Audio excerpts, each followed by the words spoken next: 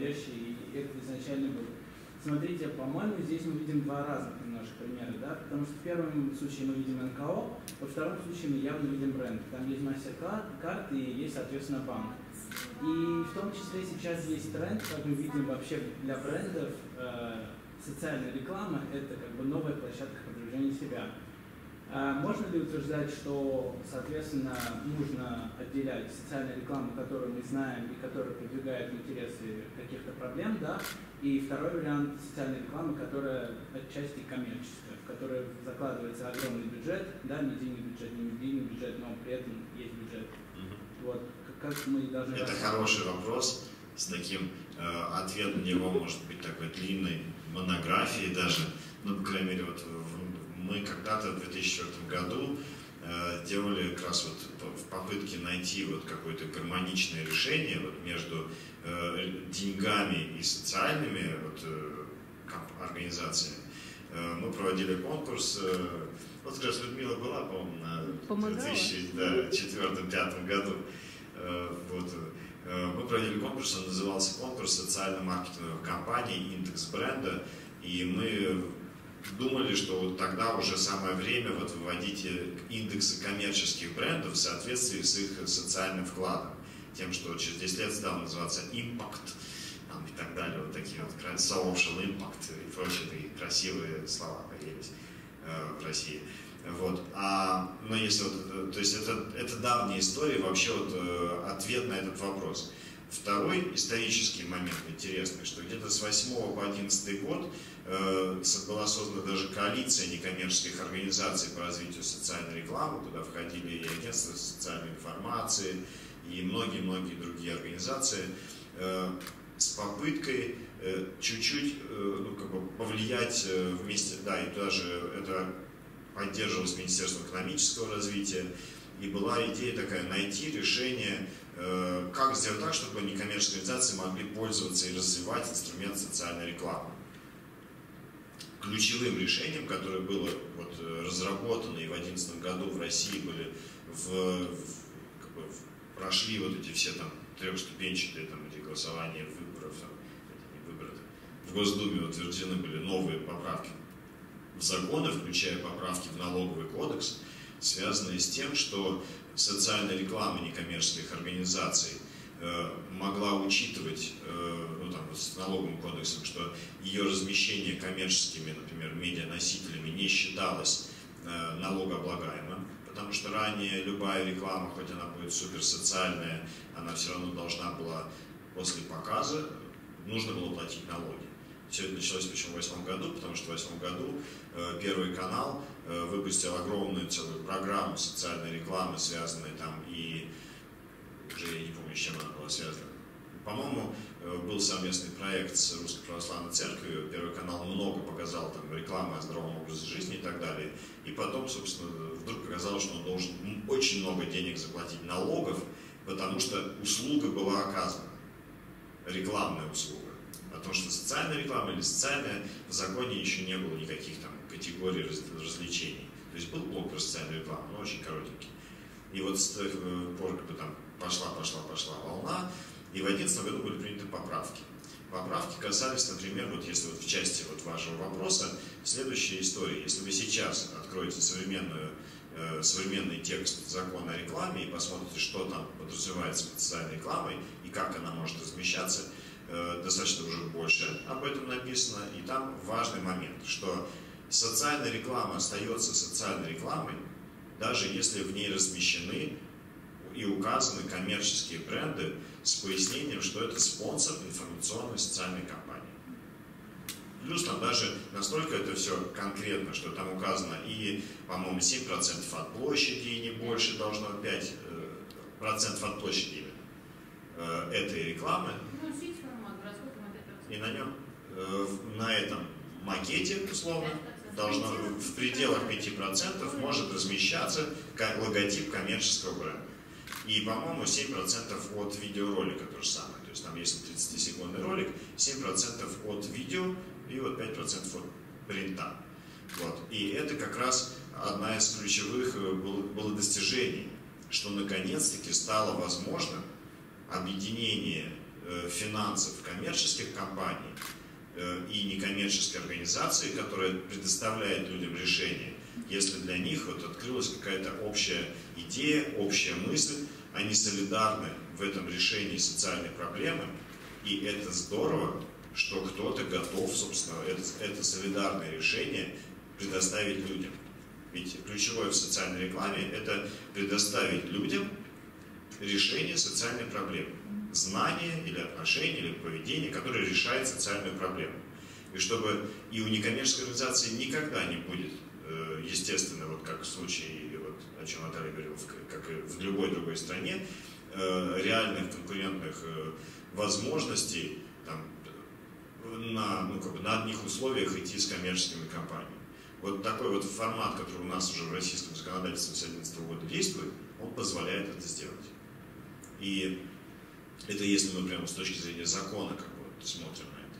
А если с точки зрения вот, э, ну, как бы, э, э, просто рационального действия, то наоборот более чем логично, если некоммерческая организация, обладающая неким решением социальной проблемы, дает возможность сотрудникам или технологическим там, каким-то уже сейчас там компаниям и так далее включаться в это и усиливать это решение. Это не меняет вообще ни, на, ни насколько не меняет именно вот этой вот социальной задачи, социальной миссии, там, со, социальной вот, как бы ответственности некоммерческой организации. Потому что все равно тут же вопрос в том, что если для коммерческой компании, которая просто декларирует социальное сообщение какое-то, ну там, не знаю, там будущее зависит от тебя какой-нибудь там, э, я уже не помню, ну, много социальных вот просто деклараций от коммерческой компании тоже всегда идет, потому что они пытаются, ну там условно, вместе со своими потребителями найти какие-то общие, просто ну, там, типа на уровне ценностей. Мы, э, мы молодцы, вы молодцы, давайте вот, вы как молодцы будете приобретать товары нас как молодцы. То есть на каком таком уровне. Но при этом, если вдруг эта ценность действительно обладает решением, то есть не просто декларация, а конкретное совместное действие, то тогда это может выходить уже вот в такие истории, как вот э, еще в том четвертом году, когда мы только это начинали изучать, этот, этот рынок вот таких социально-маркетинговых компаний, как та же компания Avon, которая на четвертом году победила в нашем конкурсе, когда она, по сути, предлагает всем э, пользователям продукции Avon, если они солидарны вместе с компанией Avon в том, что актуальна социальная программа профилактики рака груди, приобретать определенные типы товаров из каталога, в которых большая часть средств направляется на эту программу. И, и интересно, что вот в то еще далекое время, по-моему, в России около, я сейчас, может быть, ошибусь цифрами, но, по-моему, около 5 миллионов долларов собирали таким образом сами люди, приобретая осознанно эти социальные товары. И эта программа на этом только бюджете, компания предоставляла логистику, а деньги давали люди на то, чтобы эта программа работала на территории России. Поэтому здесь вот очень такая, ну, правильный вопрос и очень широкий как раз спектр развития социальных коммуникаций вместе с теми компаниями, которые тоже, как и некоммерческие организации, хотят жить в стабильном, социально э, таком живом и развитом обществе. Вот. На самом деле вопрос был о том, что я хотела обозначить как второй тренд, который мы можем, который мы можем сейчас наблюдать в современном рынке социальной рекламы общемировом. Это как раз сращивание социальной и коммерческой рекламы. Если вот мы посмотрим на гран-при в категории коммерческая реклама, то на самом деле вполне мог бы получить гран-при в социальной рекламе, потому что а, собственно, то, что было показано в этом ролике, это была реклама компании Pedigree, но а, в этом ролике а, основным показателем эффективности этой компании был показатель того, что люди стали чаще брать э, собак из приюта. Да, тоже известная компания, общемировая, на многих фестивалях рекламы она в этом году победила. И даже интересно, что на пресс-конференции эти ролики перепутали, то есть нам показали гран-при, именно педигри как победителя категории социальной рекламы, потому что действительно сложно это назвать рекламой коммерческой. То есть действительно общий мировой тренд. И очень многие работы, которые получили золото, серебро, бронзу, они тоже вот такие пограничные.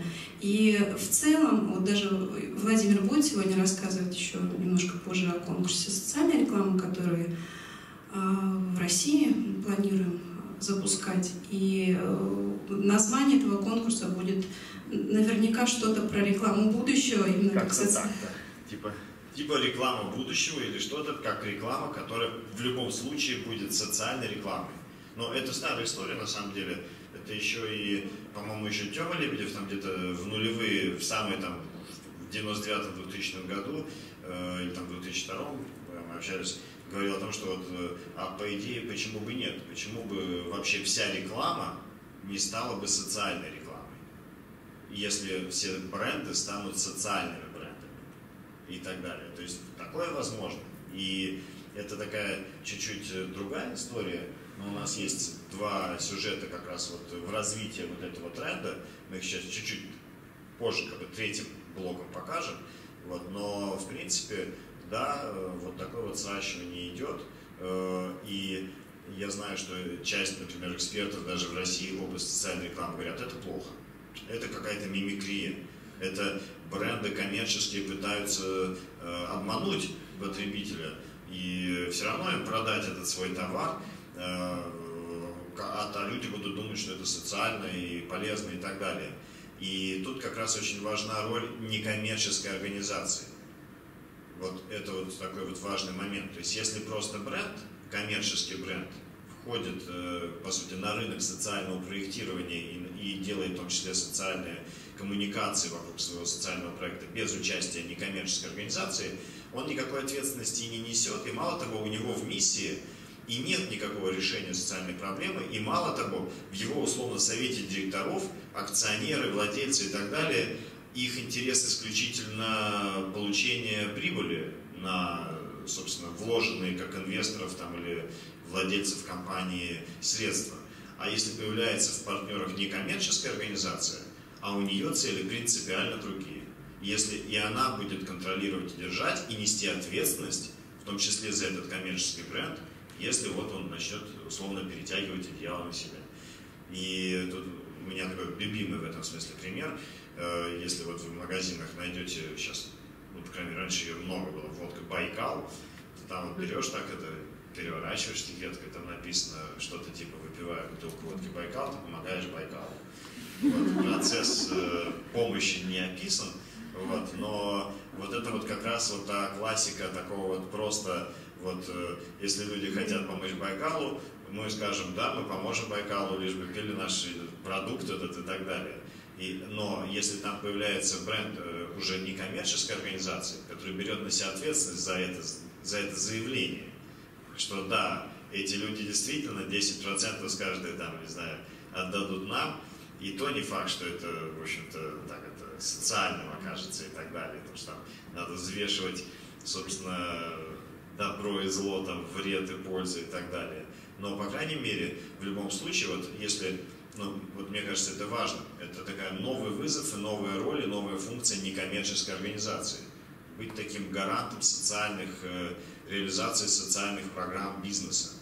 Потому что э, бизнесу в любом случае выгодна стабильность. И значит, он, вот, ну, если он больше, чем на год ориентирован, он, по сути, особенно если он э, локально как-то э, зависит от территории, ему важно, чтобы здесь меньше было социальных проблем. А, а кто решает социальные проблемы? Некоммерческая организация. И вот эта вот связка, она как раз и может обеспечивать стабильность и бизнесу, и некоммерческой организации. Очень хочется уточнить вот этот момент, когда доля именно продукции, доля продажи продукта идет на благотворительность, вот в связи с этими новыми поправками, а, есть там существенное снижение налогообложения на эту долю? Нет, Раньше... это вот, э, я думаю, нет и не будет. А в мире-то есть? Э, в мире есть, у нас не будет. Э, вот, мы должны же тоже как-то собственную позицию в мире отражать. Вот, поэтому вот снижение налогов бизнеса в случае участия в социальных программах нет и не будет. Даже это, эту часть? Нет. Э, это вот, я думаю, что ну, вот точно это не тема ну, какого-то такого Даже прикладного разговора. Поднимать даже. Теоретически можно рассуждать о там вот, э, ну, как-то в рамках каких-то как то футуризма такого, вот, э, и, и так далее. Но сейчас вот это точно ни в какой повестке не стоит. Вот, это подтверждает обсуждают и эксперты Министерства экономического развития уже много лет, объясняя, почему это не стоит, не стоит в повестке и так далее. Вот, поэтому вот, э, ну и в какой-то степени вот на данный момент это и слава богу, что так. Вот, там, там много побочных эффектов, которые могут э, задавить любую хорошую, хорошее намерение.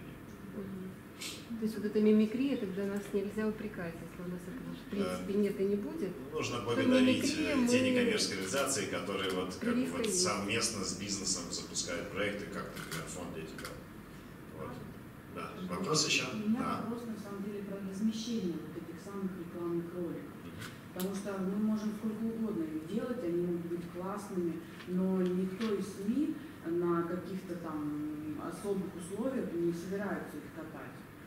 И ну, так как я недавно просто читала статью, что некоммерческие организации буквально там ну, страдают и боют от того, что они создают ролики. Конечно, в интернете они собирают свое количество просмотров, да, они стараются их продвигать как могут.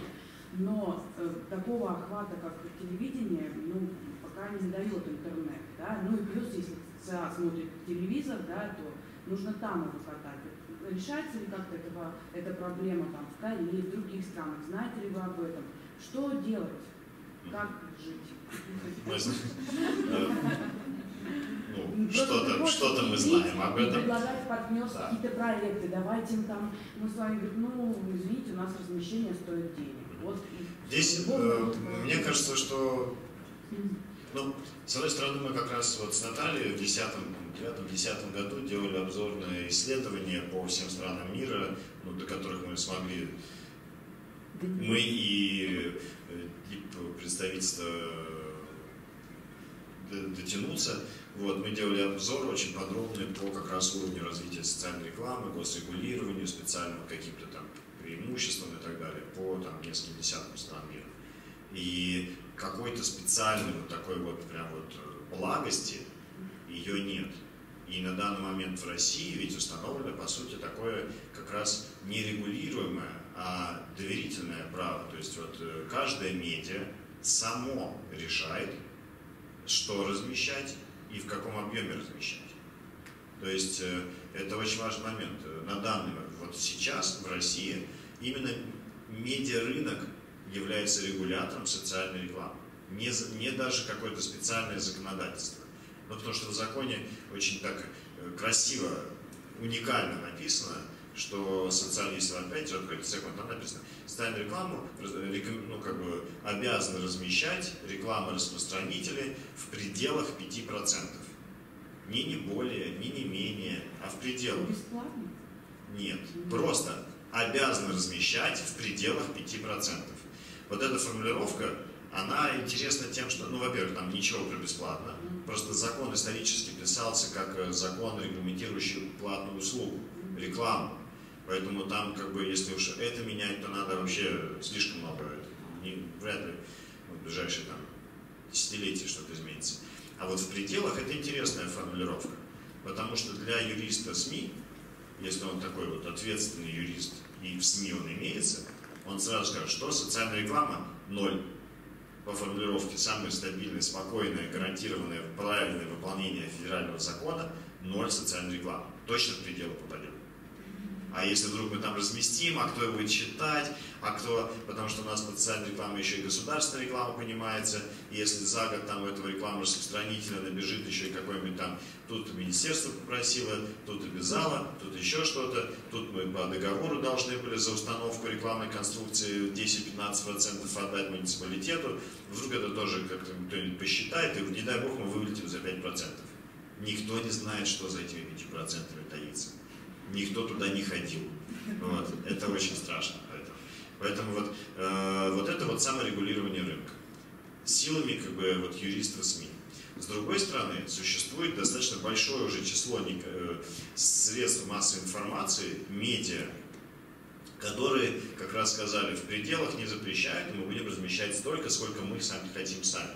Это и ведомости, и даже аргументы и факты там частично, и уже собственные медиа, которые, я думаю, вот можно в полном смысле назвать медиа, как такие дела и так далее. Да там 100% социальная фактически реклама. Вот. И это как раз показывает, что в настоящий момент саморегулирующийся медиарынок начинает наполняться все больше больше и больше как раз социальными мессенджерами, социальными разными форматами, в том числе и форматами вот таких вот готовых рекламных э, социальных роликов.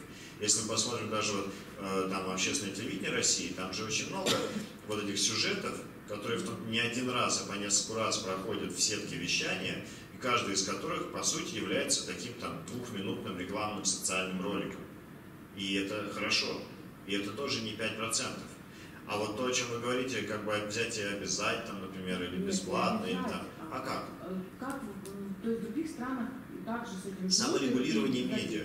Вот э, в других, основной вот такой вот э, базовая парадигма это то, что медиа саморегулируется. Не обязать, а призвать. Вот, смотрите, призывы хороши тогда, когда они отвечают целевой аудитории. И вот если что-то действительно соответствует целевой аудитории. То есть, когда Первый канал понял, что нужно обеспечивать устойчивое взаимодействие интерактивное с э, аудиторией Первого канала именно, тут же сразу ведь они сами стали искать, с кем нам сделать эти социальные проекты, обеспечивающие взаимодействие на уровне именно социальной повестки.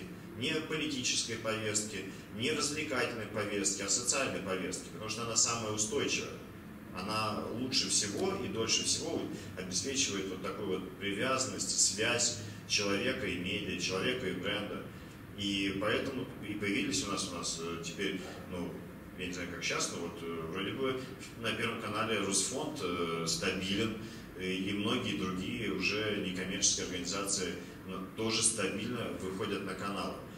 Того счастья, которое хотелось бы, чтобы можно было бы на каком-то уровне э, такого вот от понятного прозрачного механизма, э, сделав ролик э, и подать его и сказать, я сделал ролик для Москвы, можно на всех московских каналах, а у нас решение проблемы адресовано всем жителям России, можно на всероссийских каналах, хотя бы там, ну, там второй, второй десятки.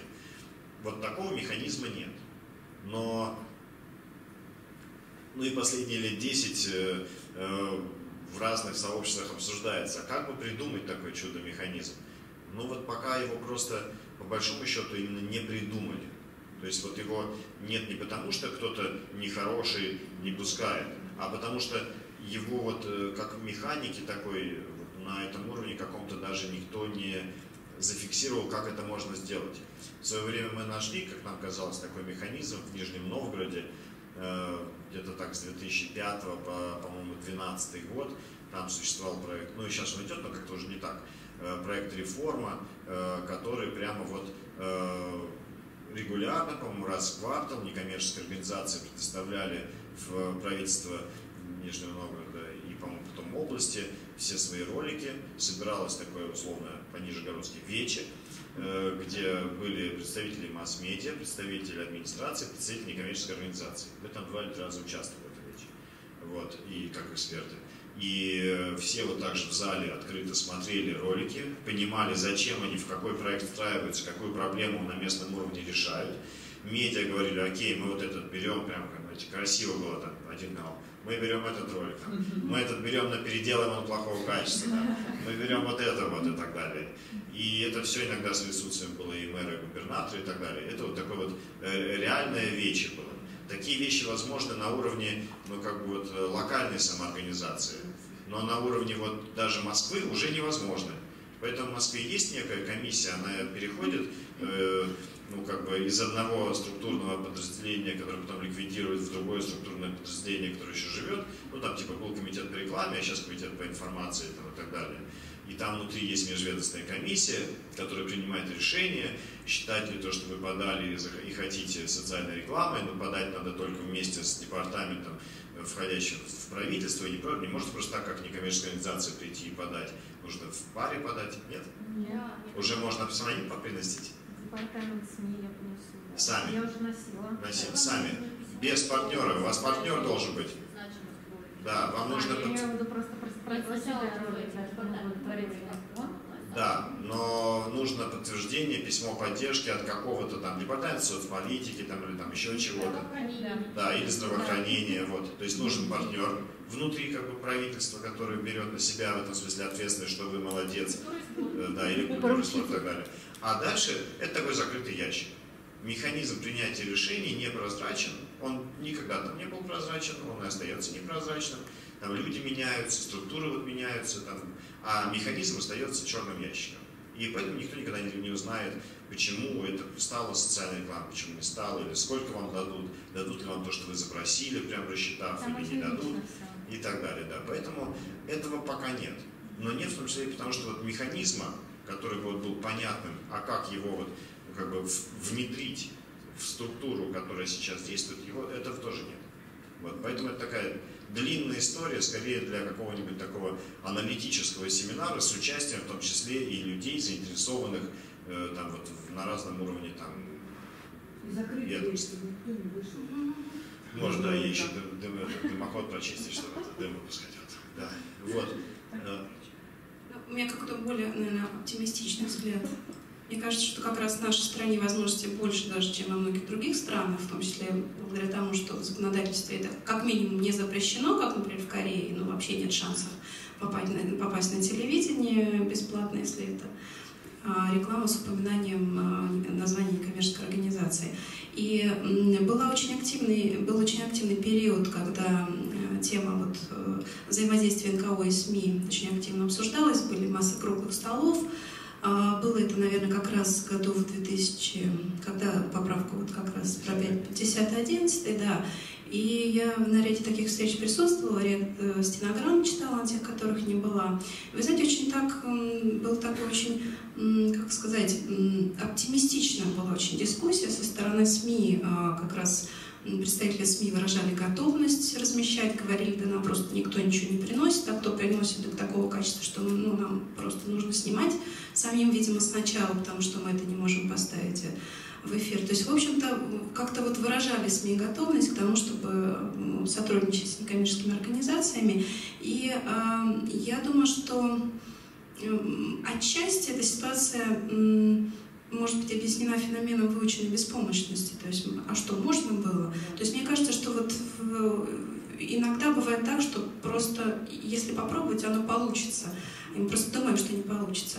И я э, в подтверждение такой гипотезы вспоминаю, мы когда собирали, отбирали э, ролики на выставку этого года, э, я посмотрела, что у Елены Тополевой был пост, где она спрашивала как раз некоммерческие организации, попросила, попросила некоммерческие организации в комментариях отправить ссылки на ролики, которые они пробовали размещать на телевидении. И было достаточно много ссылок, но каждый раз, когда Лена уточняла, а вы пробовали размещать? И отвечали, что нет. То есть вот из всех ссылок, которые в итоге к этому посту были размещены, ссылки на ролики, э, был, ну, наверное, только один комментарий, вот, где некоммерческая организация сказала, что да, вот наш ролик, и мы действительно его пытались разместить на телевидении. А остальные это были просто ролики, а вот критерий того, что они пытались этот ролик разместить где-то, вот он не выполнялся, да, то есть не было попыток. То есть это с одной стороны, и с другой стороны, а, ну, отчасти, наверное, ответ на этот вопрос, он уже в первой части нашей встречи прозвучал, что это как раз возможность выхода на а, охваты, сопоставимые с медийными, когда мы создаем мощный информационный повод, о котором сами СМИ начинают писать даже без нашей просьбы об этом. И э, если мы начинаем мыслить не языком роликов, а языком деятельности и информационного сопровождения этой деятельности, тогда мы начинаем задумываться о том, что помимо того, что наша целевая аудитория смотрит телевизор, она делает, в общем-то, что-то еще она ходит в парки, массовые мероприятия и так далее, где мы также можем ее, собственно, найти, охватить и передать то сообщение, которое мы хотим передать. То есть вот как бы вот смена парадигмы, когда мы проектировать начинаем коммуникации, в тот момент, когда мы начинаем проектировать саму деятельность, э, сам а, социальный проект и там, планировать свою деятельность на там, календарный год, если мы не, не э, мыслим рамками проектной деятельности, а, то вот это тоже отчасти выход, да, когда мы вот рассматриваем коммуникацию не языком снять э, пять роликов, там, один ролик и сделать три макета печатной рекламы, а поставить задачу шире, как нам донести то сообщение, которое мы можем донести, которое мы хотим донести, посредством каких каналов.